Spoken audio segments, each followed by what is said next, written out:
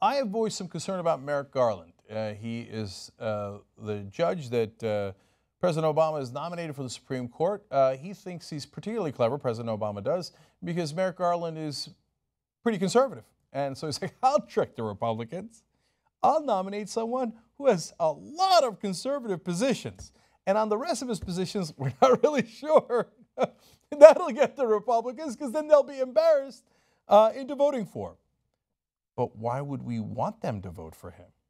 So if, if you haven't heard, and you almost certainly haven't if you watched any media outside of this, uh, and a couple of websites here and there, what his actual positions are. Merrick Garland uh, voted to enhance Citizens United.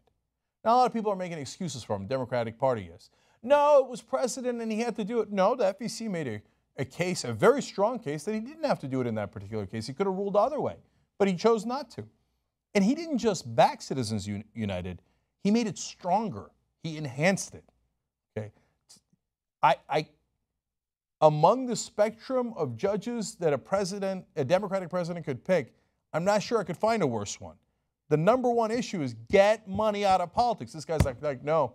I mean, look, for maybe he has a secret opinion, but the public opinion is yay, Citizens United. Okay. Now, to me, because of the precedent issue, maybe you could make an argument, yada, yada. I wouldn't take that chance. There's no way I'd take that chance in a million years. But for me, what ended it was his opinions on habeas corpus. Habeas corpus is really the oldest principle of Western jurisprudence, of Western law entirely in our whole society. It says the government cannot just kidnap someone, put them in jail, and never charge them. They've got to show him uh, they've got to present his body to a court and say, here he is, and here are the charges against him. If you don't have that, you really don't have anything. You have no rule of law. During the Bush years, when Bush administration was doing exactly that in Guantanamo, and they wanted to have the legal right to be able to say, no, no habeas corpus, rip up the U.S. Constitution, the Magna Carta, everything else.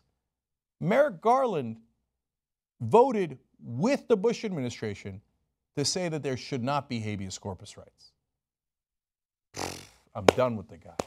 You kidding me? That, that is not remotely progressive. That's not within a continent of progressive. Yet, of course, every Democratic and progressive group in Washington, funded by the same donors that give money to the Democratic Party, oh, Merrick Garland deserves a vote. Merrick Garland, wouldn't it be great if he won? No, it wouldn't be great. It would be a disaster. So now, the reason I bring this up to you is because Senator Jeff Flake, who's a Republican, was on television and he was asked about this. Listen to what he says at the end. Watch.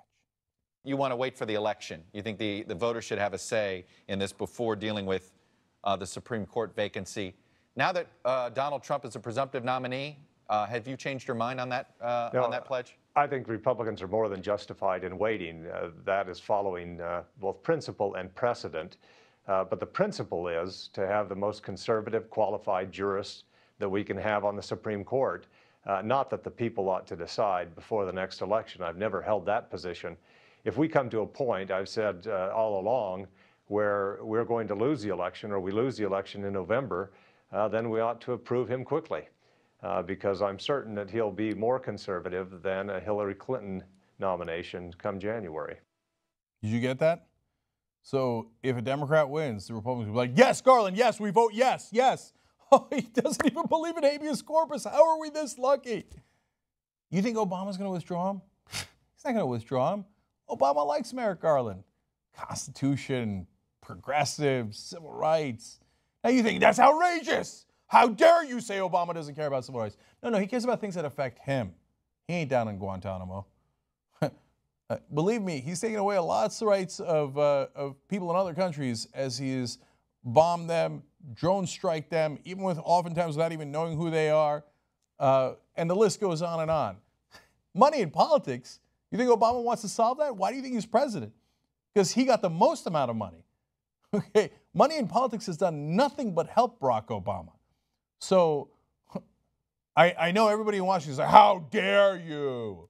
Obama is super progressive, and by definition, anyone he nominates must be progressive. It ain't the truth. Look at his actual record. And by the way, in that habeas corpus decision, he was not following precedent. Even the conservative Supreme Court voted in the other direction and said, no, no, no. Of course, we have habeas corpus rights. Of course, you can't just kidnap people and hold them forever without ever trying them. That's preposterous. But that's what Merrick Garland believes. So, whether it's a Democratic president or a Republican president, look at that. That's the one reason they tell you bow your head and no matter who it is, vote for a Democrat because we're going to get money out of politics and we're going to get the right Supreme Court justices. What they don't tell you is maybe not. Maybe we'll trick the Republicans into giving them a conservative justice. Wow, what a trick indeed. Looks like they're looking forward to that trick. I think it might be on us.